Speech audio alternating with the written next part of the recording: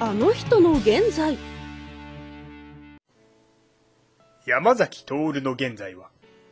お姉ブームの先駆けでバラエティ番組などで大活躍していた漫画家の山崎徹。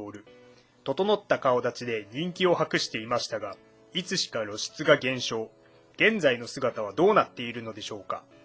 調べてみたところ、現在は沖縄のローカル番組でテレビやラジオのレギュラー番組を担当しているとのこと。そして沖縄だけでなく、千葉のローカル局である千葉テレビでもごちそうライフという番組を担当されていて、こちらはお姉さんの中澤初江さんと共に番組のホスト役としてレギュラー出演されています。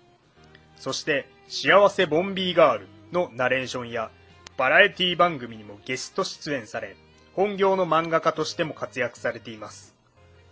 自身の2度目の個展を表参道で開く予定のようです。抽象画を50点ほど展示。そして公式ブログも更新中。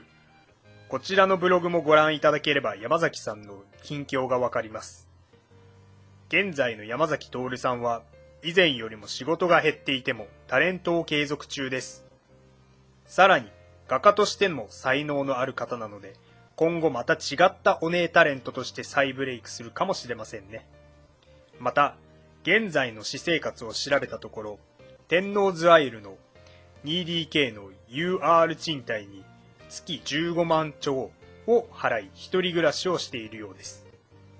近所の居酒屋ワタミで食事をとり、時間がある時は中学のクラスメートのやっている飲食店を手伝っているそうです。お姉タレントの先駆者として人気を博した山崎徹さん。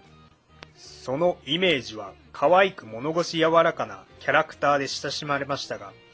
自身の申し出で3年間の活動休止後、お姉タレントブームもあり、全国ネットの人気番組での出演は激減してしまいました。しかし、そんな過去を反省し、干された理由もカミングアウト。今後、山崎さんの再ブレイクを期待しましょう。